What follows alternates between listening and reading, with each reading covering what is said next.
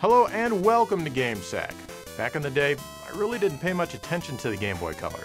Kinda just thought of it as a system that played regular Game Boy games but added some frivolous color, you know, kinda like the Super Game Boy did.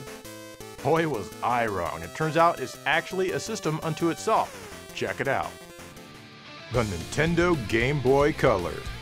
Introduced at the end of 1998, the Game Boy Color is the follow-up to Nintendo's incredibly successful Game Boy. It's backwards compatible with every Game Boy game and plays them with fake colors added on its non-backlit screen.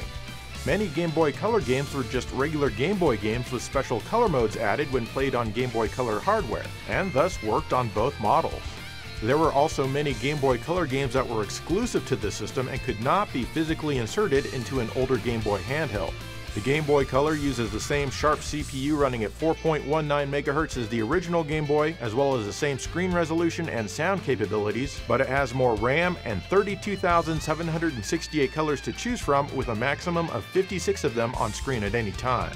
The Game Boy Color ended up selling just under 120 million units worldwide, with 916 color games officially released.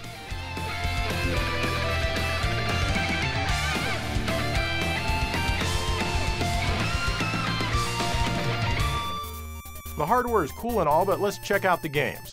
And for this episode, I'm going to focus mostly on original Game Boy Color software, meaning games that don't have a dual mode that's backwards compatible with the original Game Boy. Mostly.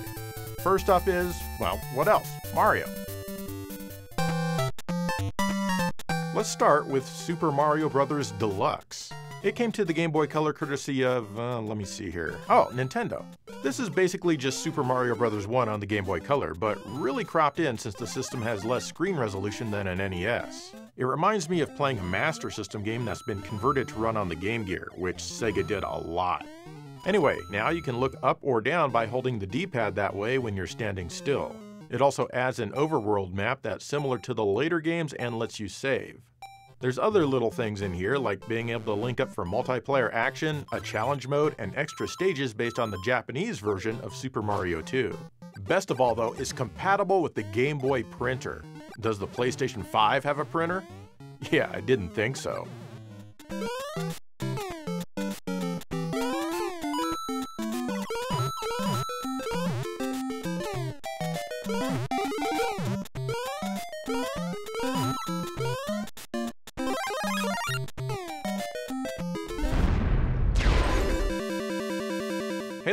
Conker's Pocket Tales, the first game with Conker ever.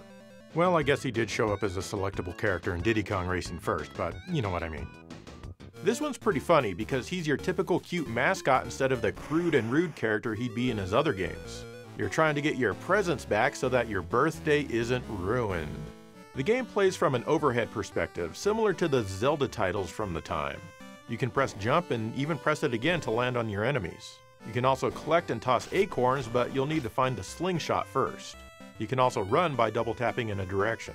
The game is mostly simple fetch quests, but they still somehow manage to make it pretty fun.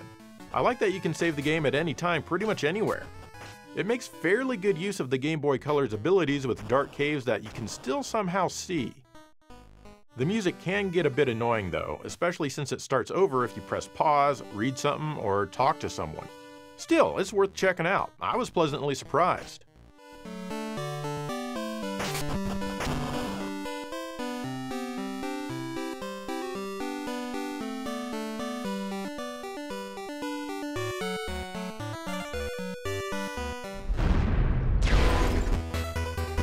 Here's Return of the Ninja from Natsume. That's right, this is in the Shadow of the Ninja series. Like that one and also Ninja Gaiden Shadow on the regular Game Boy, this is an action game. You can play as one of two different ninjas, though they both mostly play the same way through the same stages. The action here is pretty good. You can jump and attack. You also have some ninja magic with the select button. The game can be pretty tough in many areas as it's simple to get hit if you're not careful. Fortunately, you have a life bar, though it's not very big. You can collect rice balls to help you refill it and also things to let you use your ninja magic again.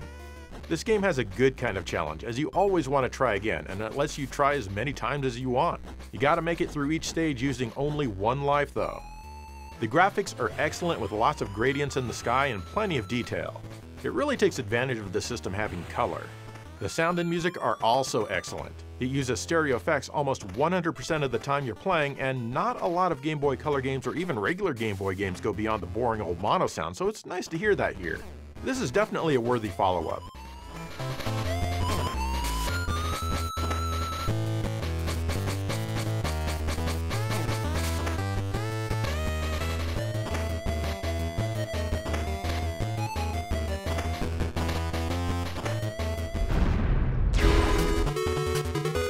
Let's check out Mario Tennis from Nintendo and Camelot. Wanna play tennis as Mario? Well, you can go straight to hell because he's not here. Well, that is unless you unlock him in the story mode. That's right, there's a story mode, which is a pseudo RPG where you need to level up your skills playing tennis matches. You play as a boring human being and not a Mario Universe character. You have an overhead area that you can roam around and interact with lots of other characters. Since this is a game from Camelot, the creators of the Shining series on Sega, the characters twitch a lot, and there are lots of awkward pauses between text boxes. It's just what Camelot does, they love twitchy characters. The tennis itself isn't bad, and it's pretty easy to control for the most part. It is a bit tough to aim the ball at first when your character's weak though. Still, it's pretty fun and it's a light-hearted sports adventure.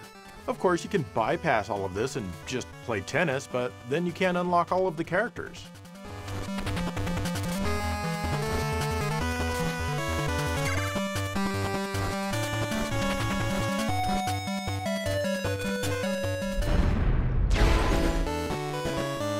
There's also Mario Golf, also from Nintendo and Camelot. Same deal here, only it's golf instead of tennis. There are lots of characters to talk to and areas to roam around. The golf itself isn't bad, but at first it's hard to tell how hard you need to hit the ball. You'll learn soon enough and you'll make some good shots once you do. You can hook this one up to the Nintendo 64 version using the transfer pack in order to transfer your pack. The colors in both games can be pretty vibrant, and the soundtrack definitely fits. Camelot is still making Mario tennis and golf games, and they'd quickly learn that people want to play as Mario and friends right away. It really is a good series of sports games.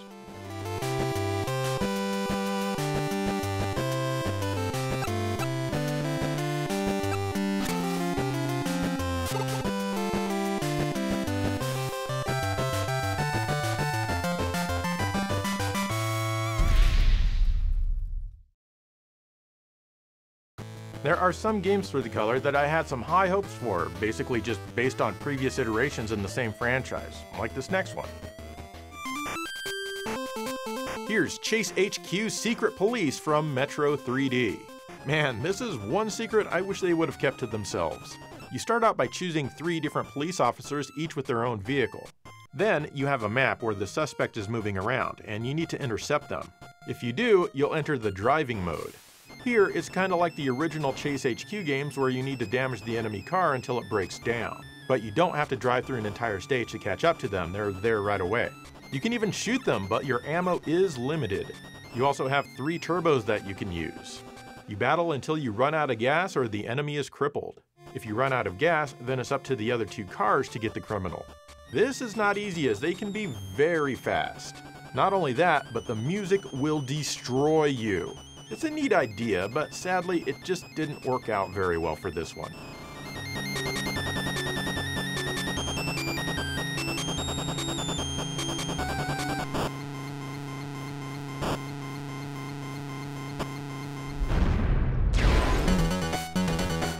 Motocross Maniacs 2 from Konami is awesome.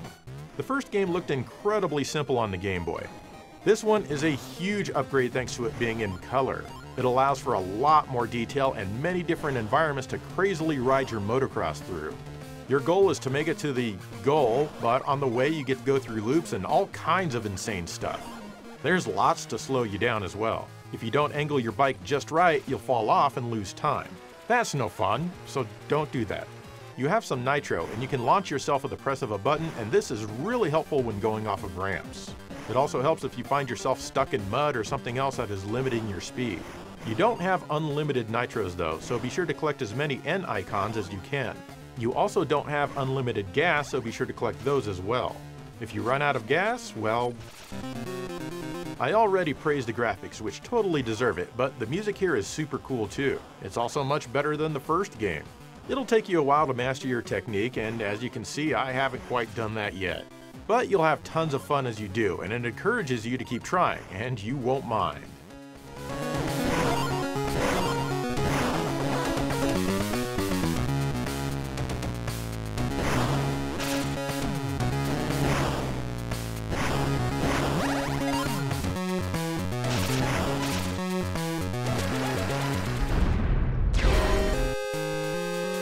Elevator Action EX was only released in Europe and Japan. Compared to the original Game Boy game, which itself was based on the arcade, this one allows you to choose from three different characters. It also features redrawn graphics, in color of course. The game also moves a bit faster. So basically you're in buildings with way too many elevators, some of which only go up or down a couple of floors in the middle of the building. I'd sure love to see the construction plan for these places. Anyway, you need to work your way from the top to the bottom, or bottom to the top in some cases. Secret agents, I guess, are coming out of doors and you gotta shoot them down before they shoot you. You need to go into the doors with the exclamation mark to get the towels. Once you have all the towels, you can go to the exit.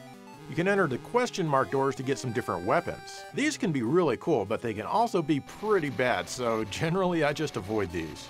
You don't stand right in front of the door to enter, but off to the side. You gotta stand where you see the little white things on the floor. The same goes for riding the escalators. Kinda weird, but you get used to it. The buildings eventually changed, but you might get bored before they do. Also, the scrolling is kind of choppy. All in all, it's not bad, but it's not for everybody.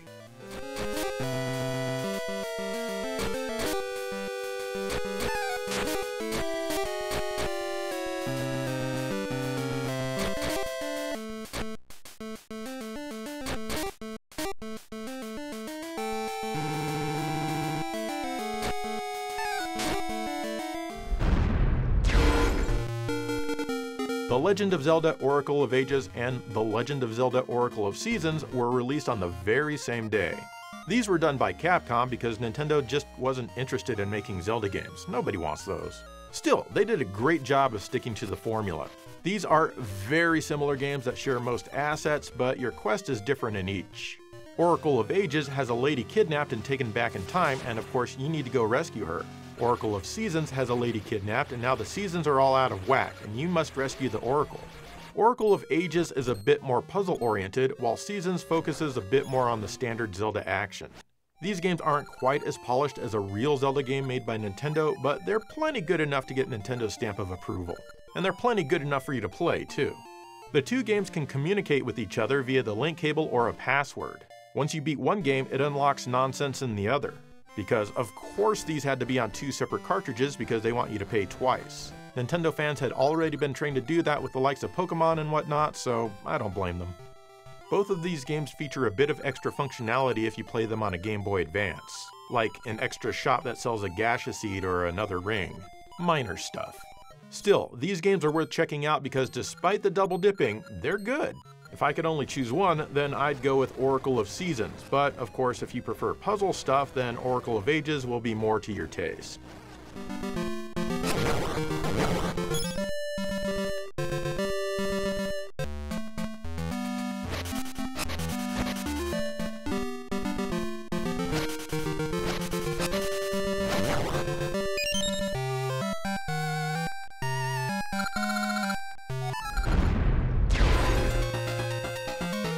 Amazingly, there's even a port of Street Fighter Alpha on the Game Boy Color. Unsurprisingly, you have two attack buttons, a punch and a kick. Believe it or not though, the control works rather well here. I had no issue pulling off any of my special moves, they really did quite well all things considered. The gameplay feels great, much better than it has any right to. The graphics also aren't bad with good animation. Sure, many frames and motions aren't here and the characters are small, but come on, this is the Game Boy Color. Some of the stages even have a bit of animation in the backgrounds. The stages and music themes are each shared among a couple of different characters each. The music is also pretty good. Not amazing, but it certainly could be a lot worse. Each character has a unique ending, but it's basically just text and their profile picture. Probably the worst thing I can say about this one is that the characters all only have three colors each, and one of those colors is always black. The same development studio, Team Crawfish, would go on to port Street Fighter Alpha 3 to the Game Boy Advance. Definitely a good fighting game to play on the go. Sadly, there isn't a two-player link function.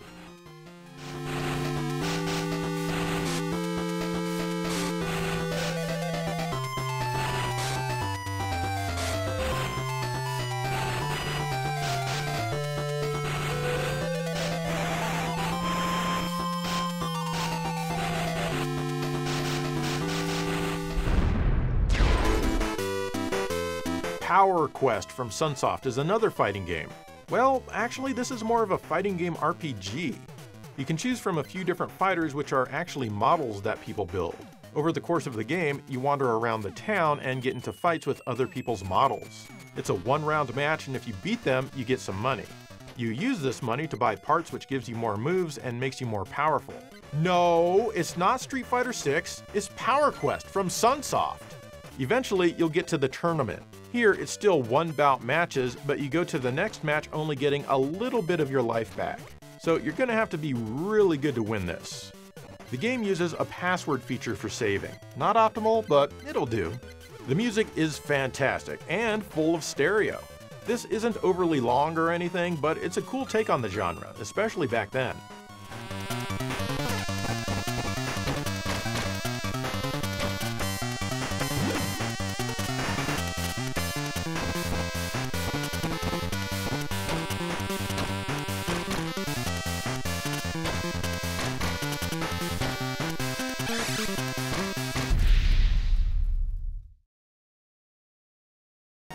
Okay, now what's the very first game that you think of when you think of Game Boy Color?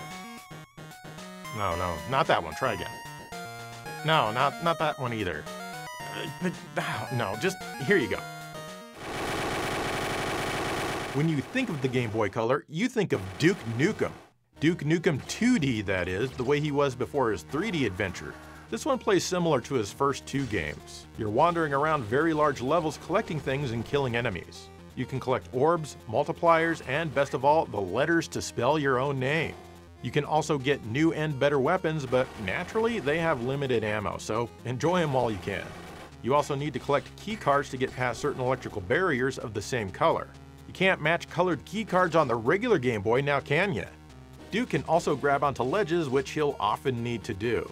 It's very easy to get hit and take damage in this one, as enemies sometimes take a while to die, and they're even a threat after they explode until they completely disappear.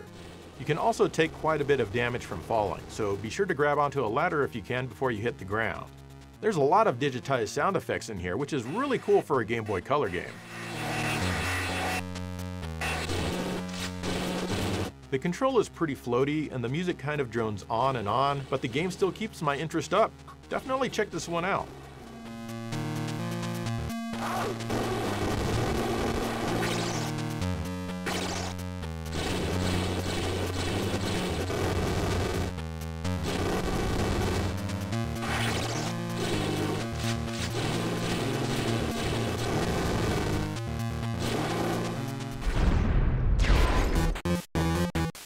Daikatana was released on the Game Boy Color, but only in Japan and Europe. Unlike the other versions, this one's actually quite playable. It's an overhead adventure game that focuses on action. You can play as different characters throughout your journey, each of them able to use different weapons.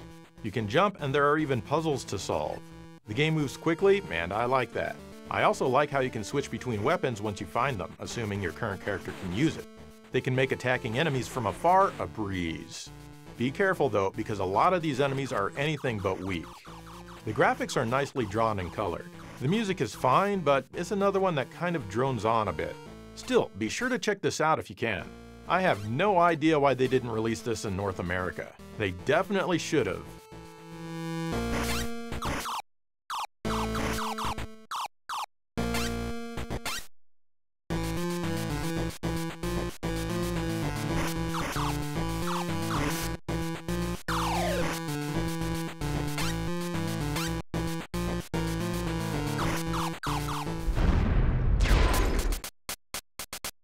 Bionic Commando Elite Forces from Capcom. But it was actually developed by Nintendo. Ah, Capcom develops a Zelda game, I guess Nintendo can develop a Capcom game. This is a great follow-up to the NES game, which itself was leagues better than the arcade original. Once again, you can't jump, so you rely on your grapple to get around everywhere.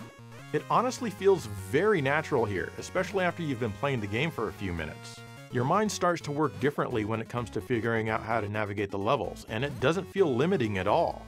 You start out with a few segments already on your life bar. Once again, you have a map that you need to advance through. Here, you can save your game and choose your weapons and items for the next area.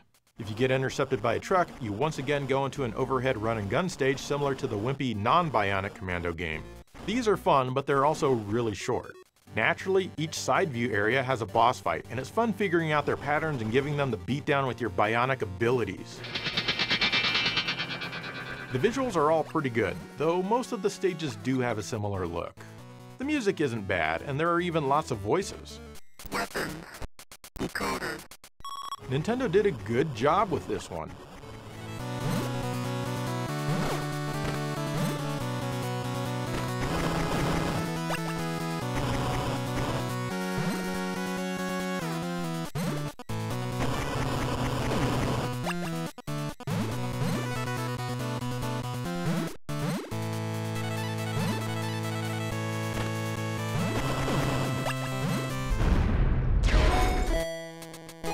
This is Wendy Every Which Way from WayForward.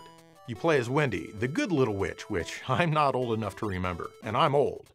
For no reason at all, you open a treasure chest and green gems come out. Now you need to collect the green gems. Not a great setup for the game, but who cares? It's the gameplay that matters. And the gameplay here is pretty good. You ever play Metal Storm on the NES? Because that is just like this, and this is just like that. You can jump and switch gravity at any time and walk on the ceiling, and also switch back. You'll be switching back and forth and back and forth and back and forth to get through these levels. All you need to do is make it to the end and grab the gem. Along the way, you'll grab stars which fill up your life bar. You definitely want these. They also increase your firepower's range. If you take a hit, your shot's range becomes narrower. I suggest never getting hit at all, but hey, you do you. Sometimes enemies or stage hazards will be affected by switching gravity and they'll also switch. Each stage has three gems that you need to get. Then you play a bonus stage which is similar to a horizontal shooter. Not quite as exciting though. If you play this on a Game Boy Advance, Advance World opens up right from the title screen. This is a new world that the Game Boy Color is just too pathetic and weak to be able to play. I mean, just look at all of this Game Boy Advance power!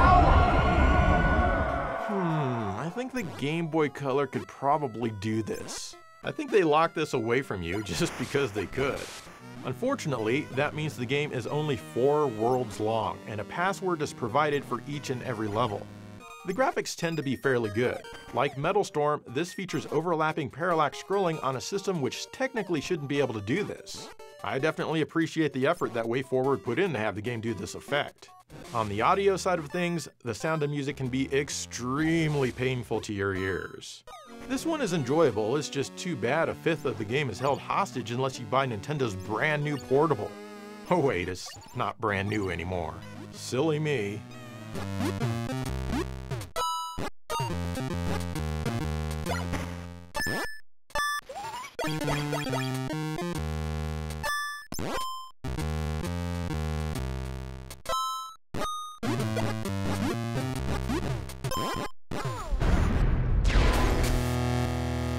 Metal Gear Solid even came to the color.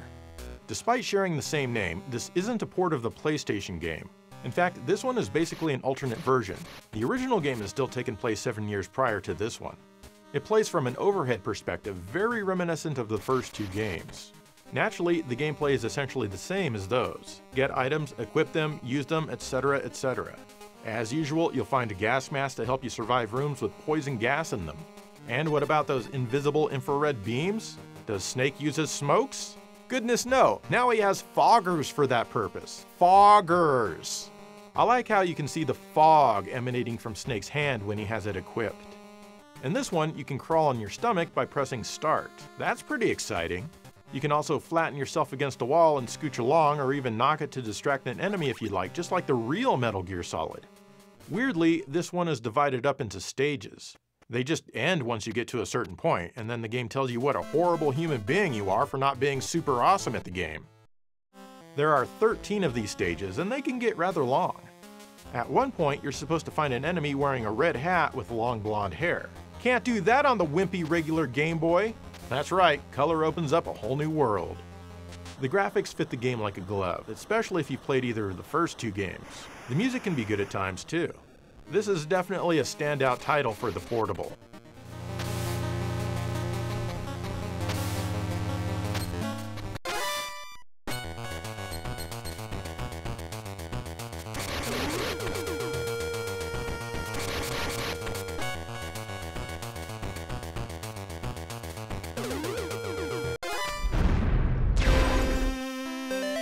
This one's called Hunter x Hunter, Kindan no Hiho, I guess. This is based on an existing IP, as you can probably tell by the drawings and all of the text. But the meat of the game is an action RPG, and it sure looks a lot like Castlevania, doesn't it? You have a whip to dispatch enemies, and you can even get items from cherries instead of candles. You have a management screen, which is all in Japanese, but here you can use items to get some life back and things like that. The gameplay would be pretty good if the A and B buttons were correct. You jump with B and attack with A, which is completely backwards, like an old Sega Master System game. But this is Konami. I'm amazed that they didn't know any better. I couldn't find a way to switch the controls. There's no translation to this one yet at the time I'm making this episode, not that I could find anyway. Just some animes on YouTube that had some translations, which doesn't really help. I definitely hope it gets translated sometime, as this could be pretty entertaining. And reverse the buttons while you're at it.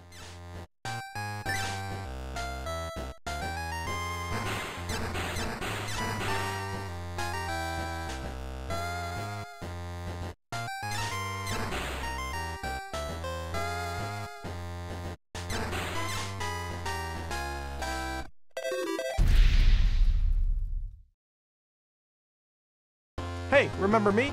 Yeah, I'm still here talking about Game Boy Color games. You down for 10 more? Well, technically 8 more? Awesome.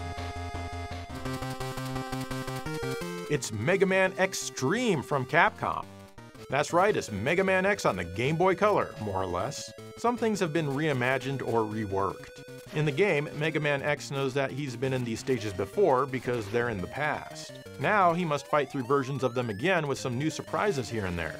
This one features autosaves a few times in each stage, which is basically just a checkpoint. It's definitely helpful to know where these are though when you run by them. The graphics look great, with some nice color gradients in the stage introduction screens. The stereo music is nice too and won't disappoint. If you enjoy Mega Man X, no doubt you'll get a kick out of this. It'll also work on a regular Game Boy.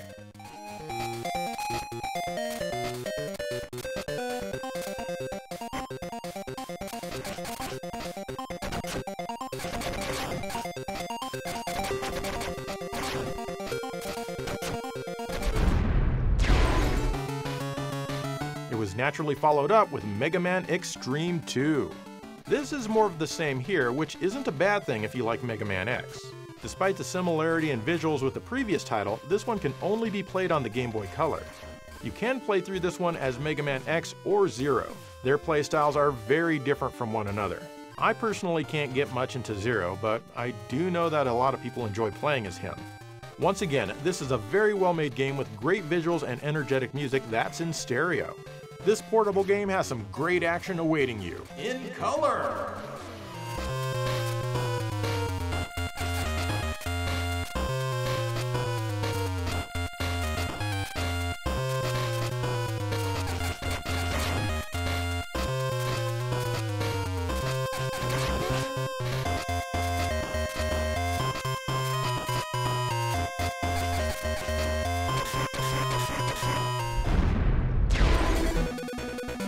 I loved Cruisin' Exotica in the arcade and even on the Nintendo 64, so I've got to check it out here. It's gonna be great.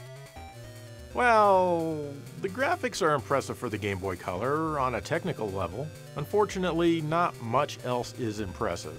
The control is very slow and floaty, which doesn't exactly make for an exciting racing experience. Still, the game grows on you a tiny bit the more you play it. There are tons of tracks to race on, even Mars here. You can double tap the accelerator to gain a teeny bit more speed for an extremely short amount of time. The audio is generally pretty bad and you'll probably want to turn this one down a bit. This could be worse, of course it could be better too, but I had to check it out.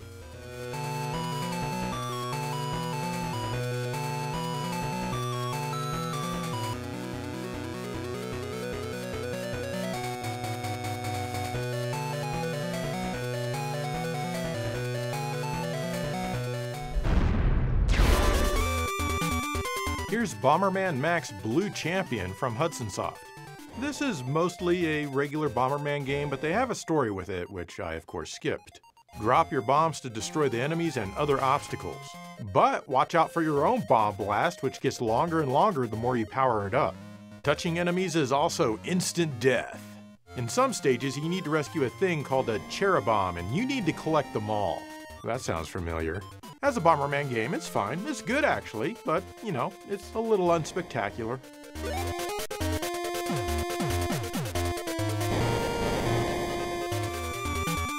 There's also Bomberman Max Red Challenger. Yeah, this is basically the same exact game, but you play as a different character, and you also have different Charaboms to collect. Again, you need to collect them all. That's how this works. That's how they get you. Naturally, this is a completely separate cartridge. Why would it not be? This is what Nintendo fans want, different colors of essentially the same game. So yeah, not much different here for your money. There's also Bomberman Max Ain version, which was only released in Japan. In fact, it's very rare, as you could only get it in a contest run by Pentel, a Japanese company who makes stationary products.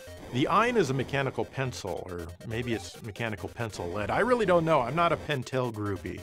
Anyway, in case your eyeballs aren't working, this is basically the same game as Blue Challenger.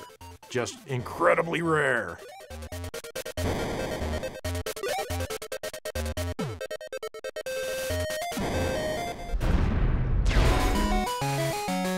Or how about Bomberman Quest from Hudson Soft? That's right, it's a Bomberman action RPG, if you consider Bomberman part of the action genre. I don't know, is it? Anyway, your shuttle full of monsters that you've captured crash lands on an unknown planet. The monsters have all escaped, and now you need to recapture them and find your engines. The battles are fought Bomberman style, and both you and the enemy have a life bar. You also have a town where you can do a few things. In one building, you can increase the power of your bombs and other items with additional items that you've collected by defeating enemies. You can equip different items to the B and the A buttons in a manner of your choosing. This is a cute game, that's a good idea. I just wish Bomberman would move a little faster. Seriously, pick up the pace, little guy. If you're a fan of Bomberman and also like RPGs that aren't overly complex, then this one's a no-brainer. While this one also works on the regular Game Boy, it's still my favorite Bomberman game on the color.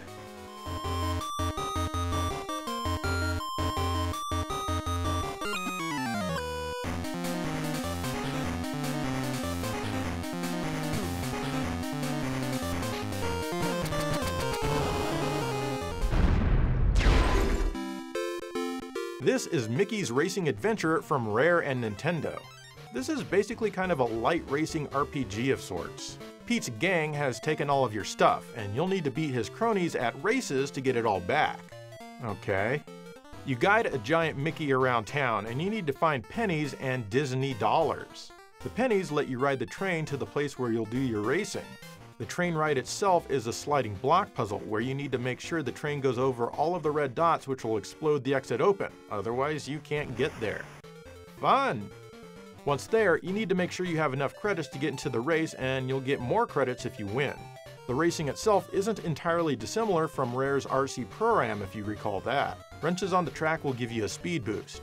You can upgrade your car's power or even buy new ones with Disney dollars and you'll need to do this as soon as you can.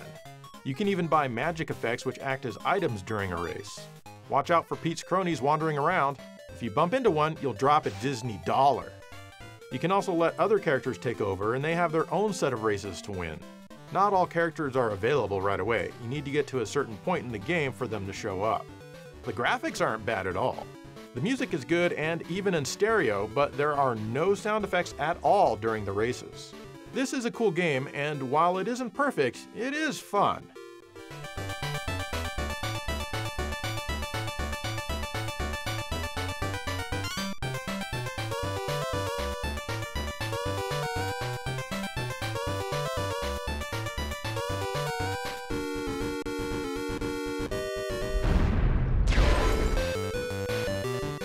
Later, we got Mickey's Speedway USA, also from Rare and Nintendo.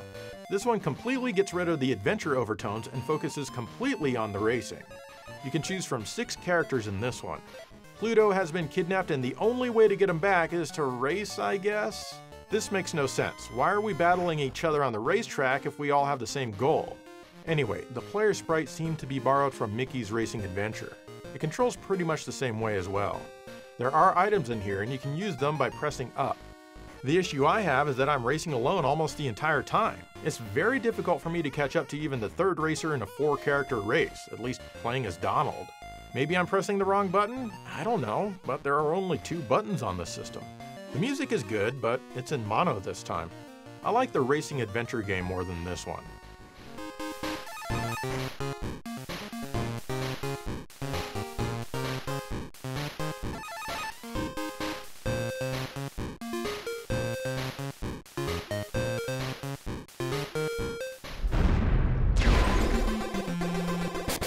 Can't have an episode about the Game Boy Color and not mention Shantae from WayForward.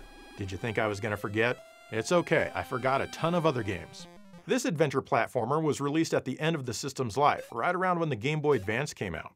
You play as a half genie named Shantae who attacks with her purple hair. She's after a steam engine that was stolen by the pirate Risky Boots. If you've played any game in the series, then you know what to expect. You explore Scuttletown in a third person view and enter shops and the like. You can buy stuff to help you out, heal yourself, save the game, earn money in the rhythm dancing game, and get info from the people in the town. The action is pretty good, but the controls feel a little slow. This is probably because this isn't the first game I played in the series and I'm too used to the newer games. The stage design, of course, isn't quite as good as the later entries either. Now, don't get me wrong, this is a fantastic game here. You've got some backtracking to do, and that makes this game a Metroidvania. Sorry, but those are the rules and there's nothing you can do about it. Metroidvania. Since this game was released when the Game Boy Advance came out, they included some things that you can only get if you play it on a Game Boy Advance. First and foremost, the game is substantially brighter. This was done because it was felt that the game looked too dark on the Game Boy Advance's screen, whereas it wasn't really an issue on the Game Boy Color screen. There's also a dance to transform into a Tinkerbat that you can only do while playing on the Game Boy Advance. But supposedly you're not missing much by not having this dance. Regardless of how you play it, the visuals are among the best on the system. There's really cool looking transitions from day to night and back every couple of minutes. The music is extremely fitting and in full stereo. Jake Kaufman rarely disappoints. I mean, he sometimes does. Nah, I'm just kidding, Jake. Anyway, the music really helps you get into the game. It's too bad they made so few copies of this game when it was released all those years ago, but there are many other ways to play this one these days. And I highly suggest that you do.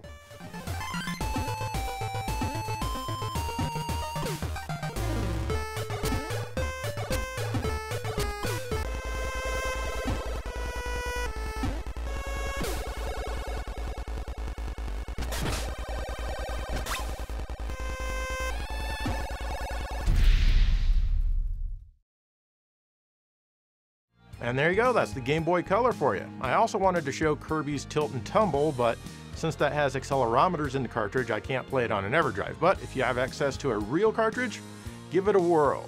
And yeah, I know I didn't show any Pokemon games, but I'm not really into Pokemon, so you probably don't really want to hear me talk about it, otherwise everyone's just going to be grumpy. Anyway, what's your favorite Game Boy Color game? Let me know. In the meantime, thank you for watching GameSack.